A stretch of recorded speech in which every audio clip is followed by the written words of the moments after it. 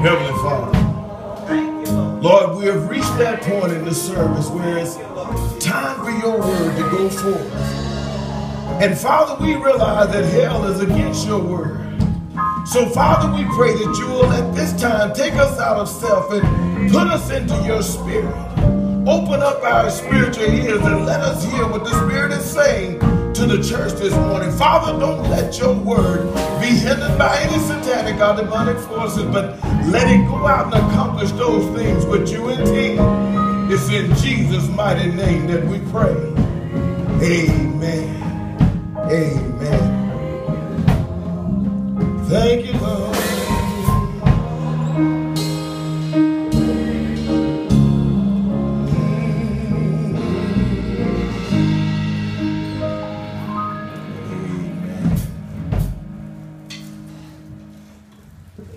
At last, and did my Savior bled,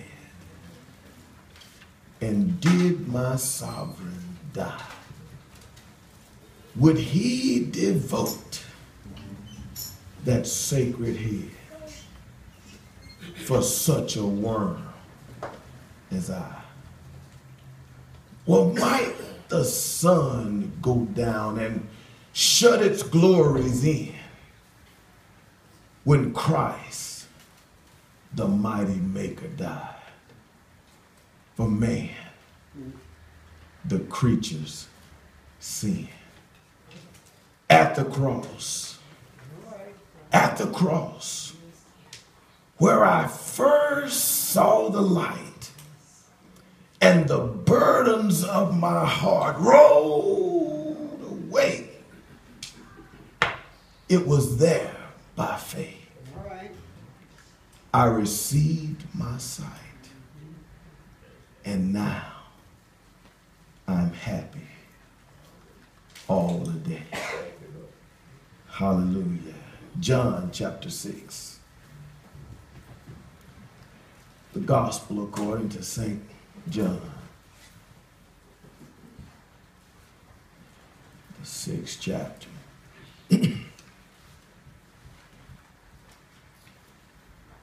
The sixth chapter of the gospel according to John is where we get a lot of our meat.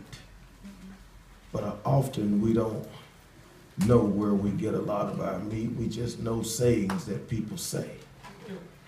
We know things that we've heard a little bit of and we just kind of trust what they say.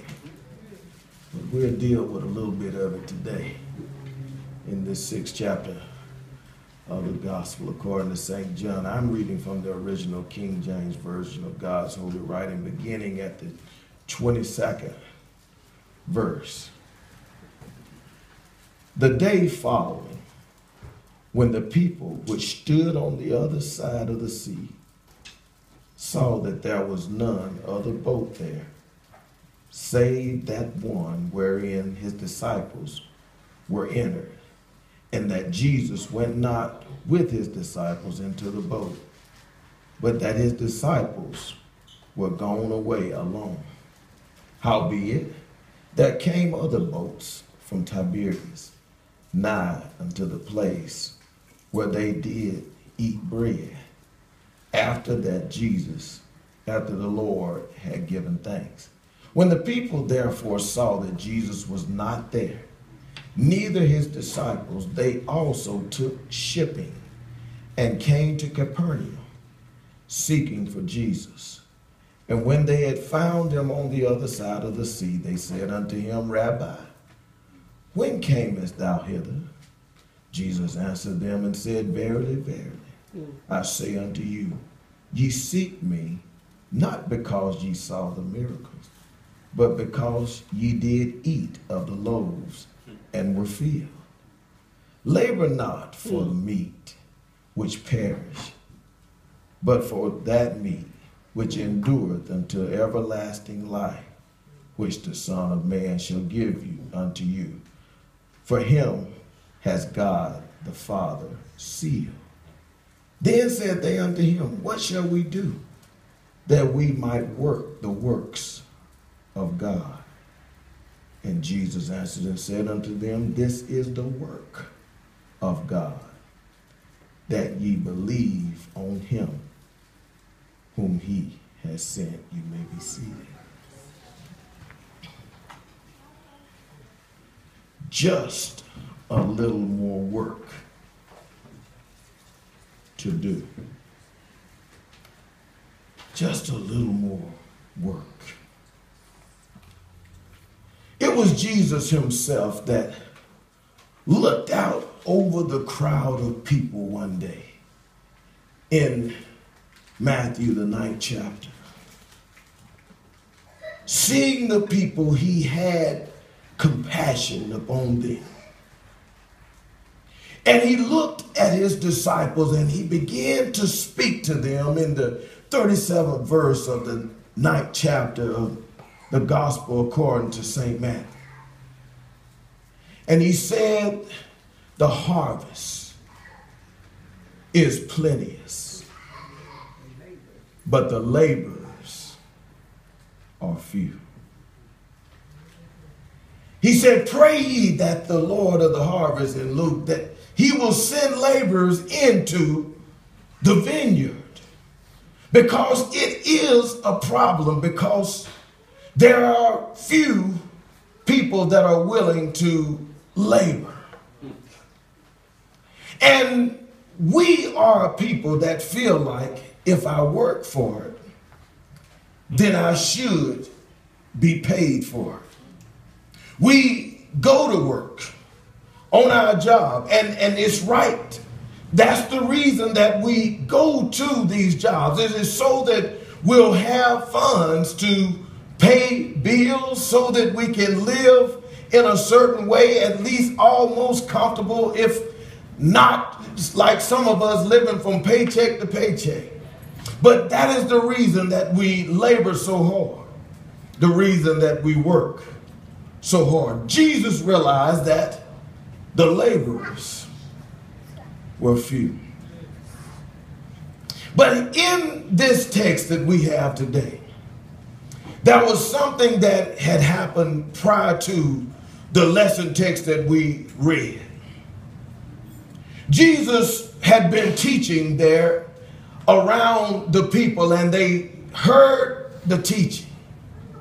The teaching was awesome enough for the people to just sit under his teaching and want to hear what this itinerant teacher was teaching them and want to eat every word that he was saying. But after a while, Jesus realized that something was happening.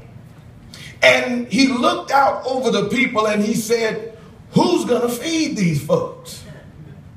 The Bible lets us know that just the men that were in the crowd was 5,000. That's not counting the women and children. So it's a lot of folks. And Philip was standing there and Jesus talked to him. What, what, what we going to feed him? He said, well, all we, we've seen out here, Lord, but I don't care how much 200 pennies won't feed all these folks. You need a massive fish fry to feed this many people. He said, but all we've seen is one little fellow with five barley loaves of bread and two fish. And Jesus confiscated those items. And he prayed over the bread and he handed to his disciples to put in baskets. And he did likewise over the fish, and they fed everybody there. We know that everybody consumed enough grocery to be full and filled. Because Jesus said, Now you pick up the leftover fish and bread. And the Bible said that they filled up 12 baskets. So everybody was filled. You could have had an extra piece of fish. It must have had ground mullet. Yeah, I like fish with bones in it. Tastes a little better than the catfish. You just got to work with the bones. You're from the country, that don't bother. But they had this fish and bread, and they were filled. But now it had gotten late in the evening and Jesus saw what was happening. They looked at Jesus at that time and said, Look here, we'll never have to work again. We'll never have to do anything else again. All we have to do is hang out around this man and he'll feed us. Jesus saw what was happening, that they were about to try to make him a king. Beware when folks want to lift you up. It, it, it, it's, it's common for, for, for pastors and preachers to want to just always be lifted up. And, and, and people will start want to call you a king and all these type of things. And before you know it, you trying to act like you're a ruler of something. If, you let them. But this Jesus realized what was happening and he left the coast. And he went out alone and prayed. While he was gone, his disciples got in the boat and decided that they were going to go to the other side, and, and they did. It's kind of confusing when you get down to the to the lesson because you don't understand exactly what was happening. And and some commentators try to put it together for you but some taters are more common than others. And so you have to try to read the scripture and just let god have his way.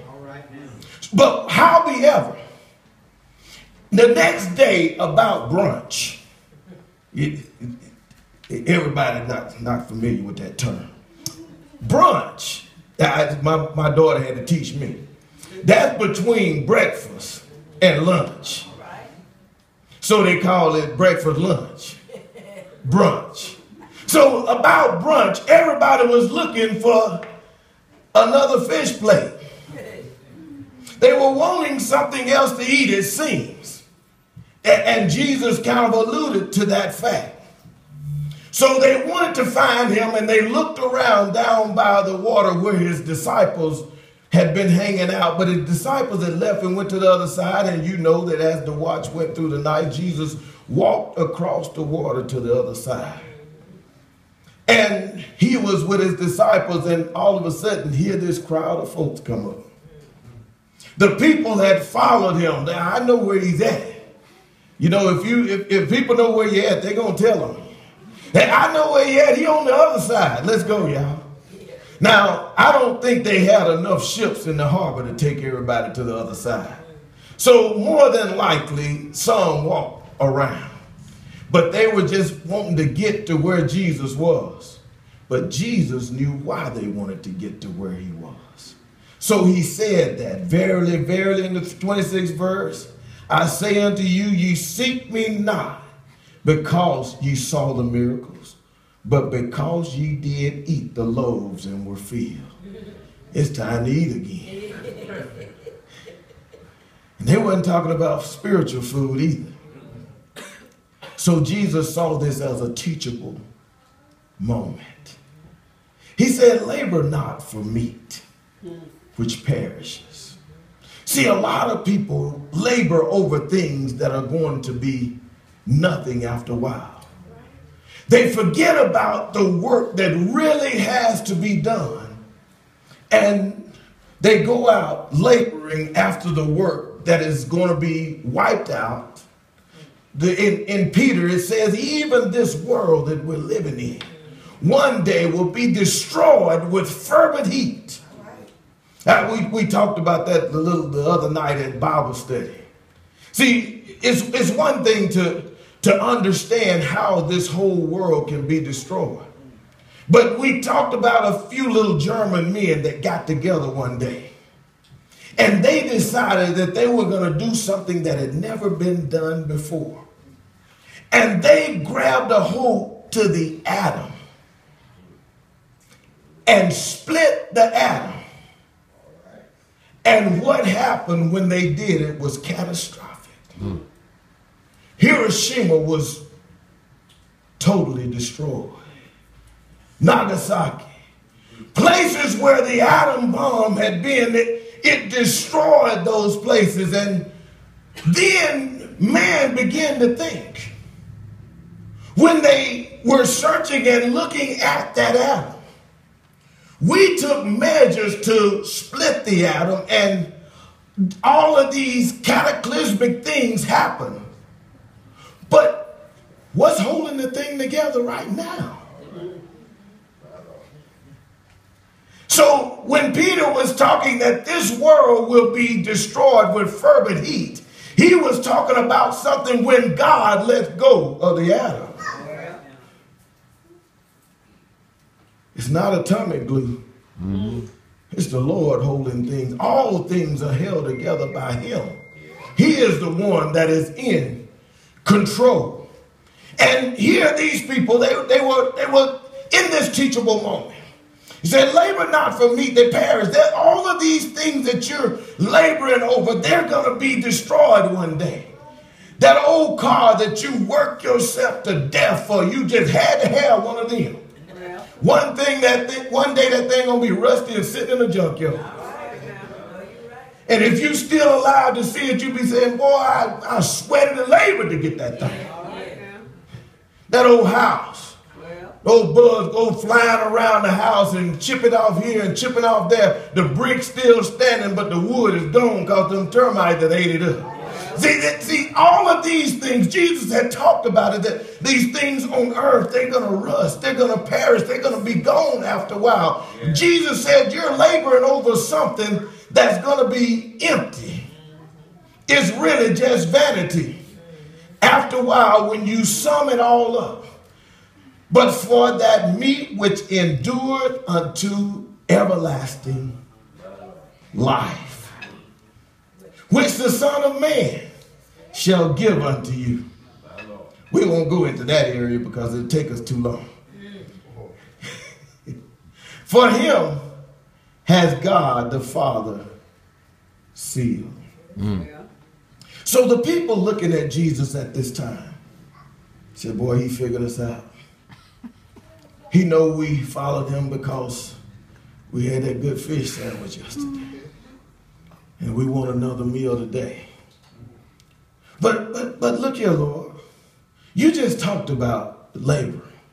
He said, They said unto him, What shall we do that we might work the works of God? Working the works of God. Here's a question for you. Can you get to heaven without good works? Can you? No. I'll answer it for you. There's no way that you will get to heaven without good works. You're saying, boy, I'm confused now. Let me continue to confuse you. Can you enter heaven without good character. Just doing the right thing all the time, being morally excellent and impeccable in your service toward mankind and others. Can you get to heaven without good character? May I answer again? No. We, we almost finished now, Chris. All right, Moses, Chris ain't here today. Since, since, we, since we went there, let's, let, let's go here also. How good does your character really have to be? How, how good of character can you have to have good enough character to get into heaven? Can your character, have you obtained that yet? Have you reached that point? Yet to where your character would render you good enough to get into God's heaven. Now, but let, let, me let me throw this this this this piece of wood on the fire. Your character would have to be without flaw. Your character would have to be, that's the word, Chris, say that again. Perfect. Now you won't get to heaven without it. Now you're really confused, Because everybody told you, you ain't got to be good. Nobody is good as Jesus.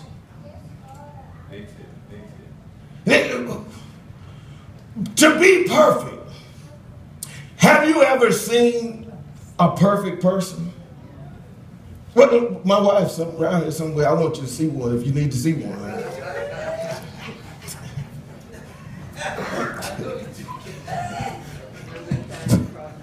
But everybody else. yeah, okay. You haven't, and I haven't seen that person. So now some of us are really confused. Because everything that I've been teaching since I've been here at New Bethel have told you that works will never get you in to heaven. Now, have I been teaching error? No. I wouldn't dare teach you anything that I didn't know for a fact that it was lining up with the scripture. Now, I will admit that I may have, on occasion, interpreted something wrong. And may have said it. And I, I usually, when I when I know that I've said something wrong, I usually try to go back and correct it when I know better. I, I tell y'all all the time that people that at, at, at my home church where we ran those folks from the church when they came in there talking about Jesus plus nothing. And, and, and I went, so after I understood the word of God for myself, start reading and start seeing for myself, after I start knowing that uh, when I, I used to be at a church where they spoke in tongues. I did. But when I start studying the Word of God, when I hit those pages in the scripture there where the Bible told me that if there's not an interpreter, don't do it.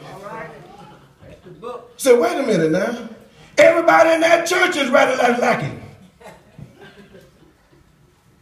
And they're telling you now that if you're not rather lacking, you ain't even saved. So back to the scripture. Back to where we're at. When you don't know, you'll pretty much take anything somebody say.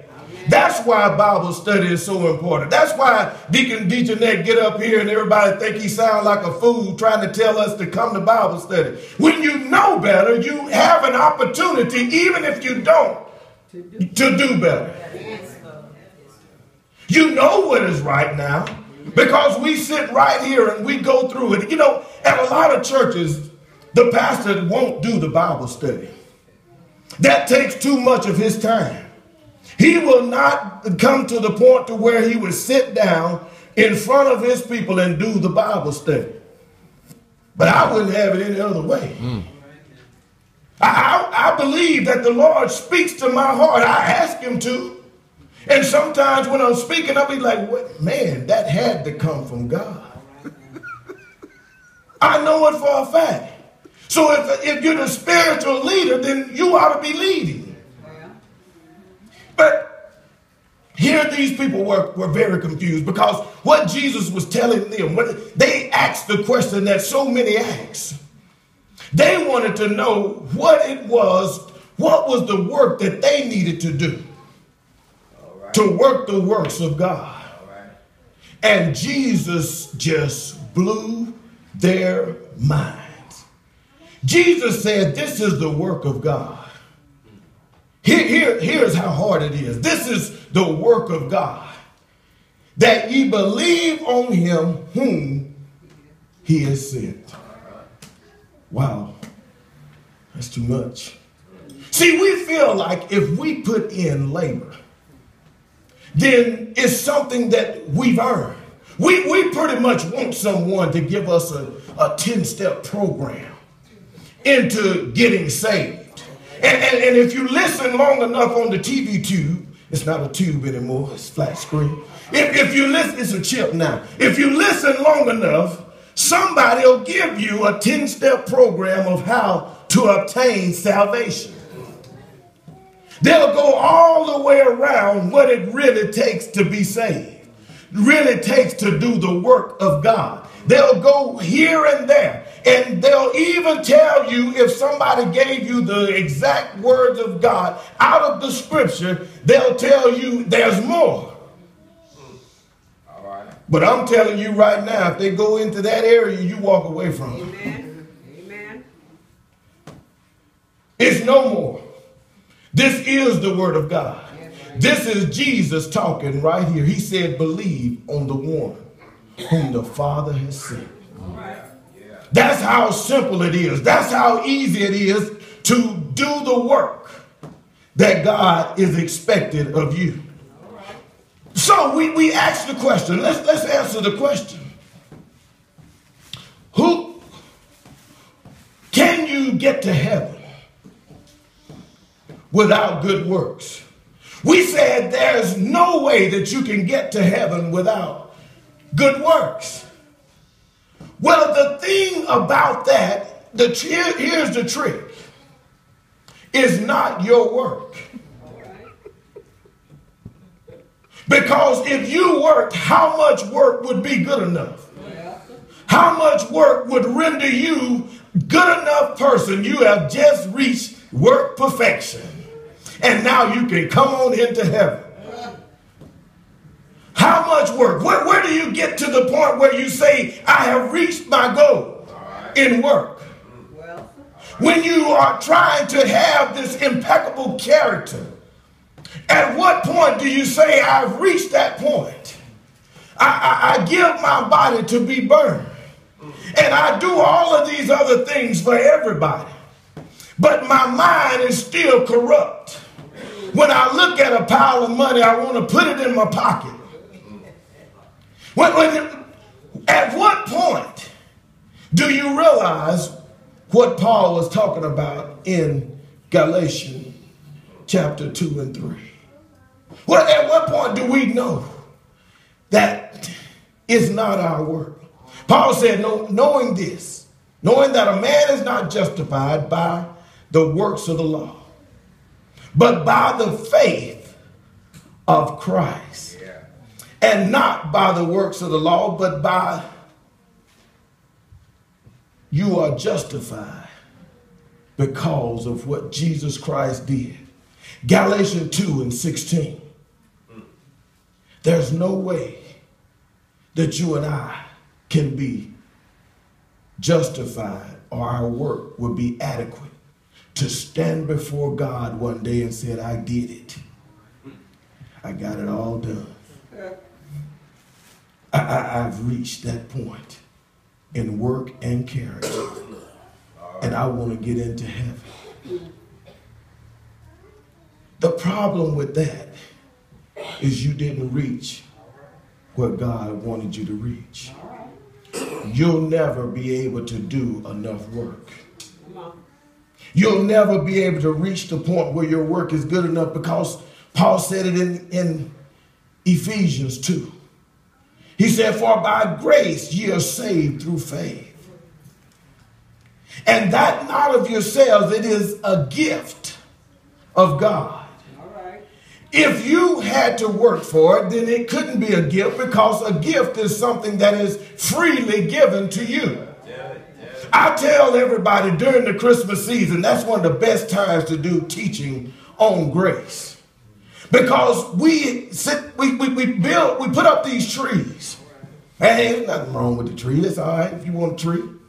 I, I mean, I ain't against you we, we get this tree together and we put all of this stuff up under the tree. And somebody else sends us something to put under the tree for us to open on Christmas Day. Now, on Christmas Day, you got all of this stuff sitting under the tree. And you go get all of these boxes out from under there but one. Until you get that one, you had accepted it.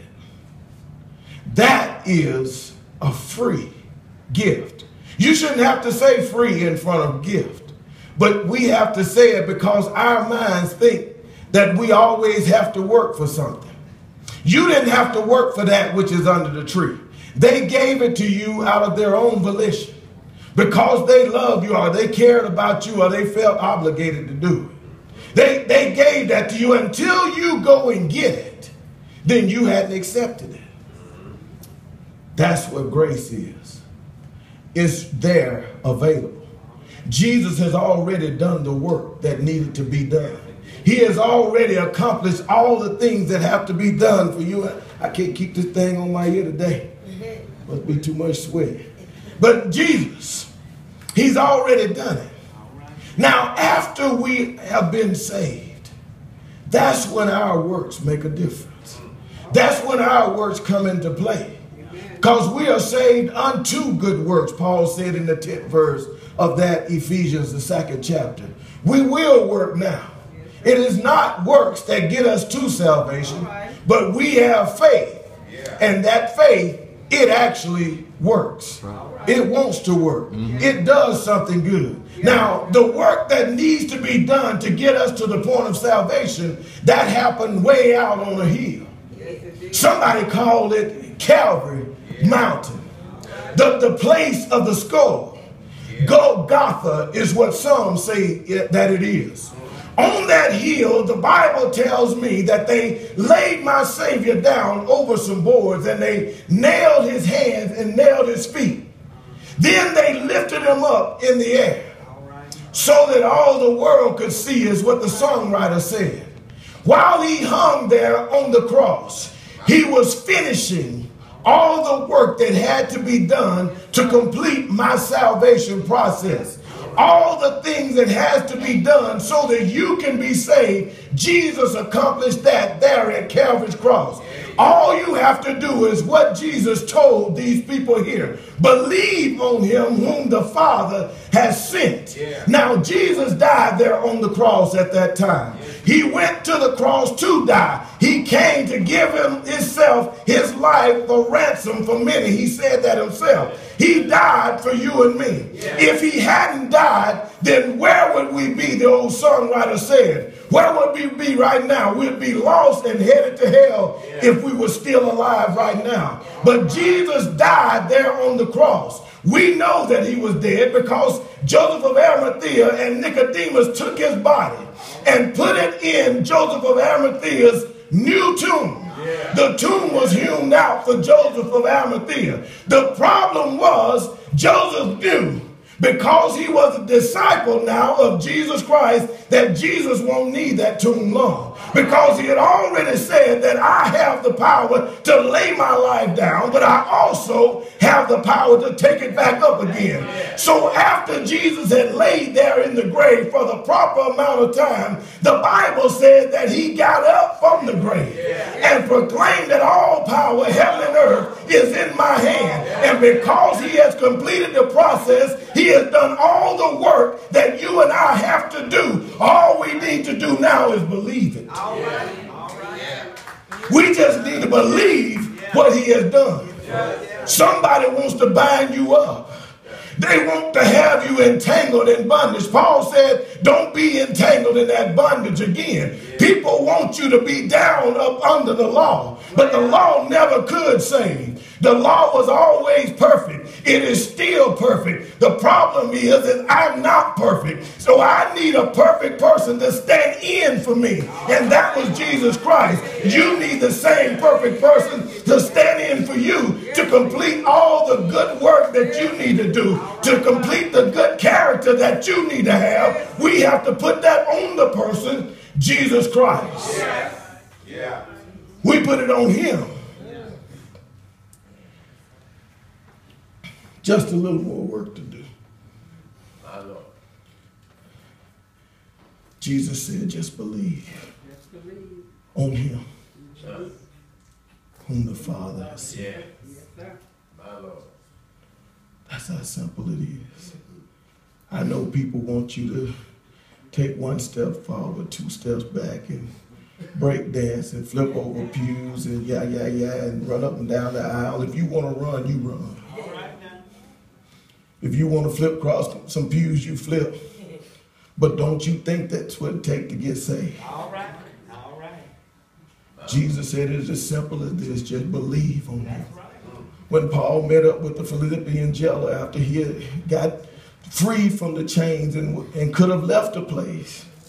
The Bible said that that jailer asked him, What must I do to be saved?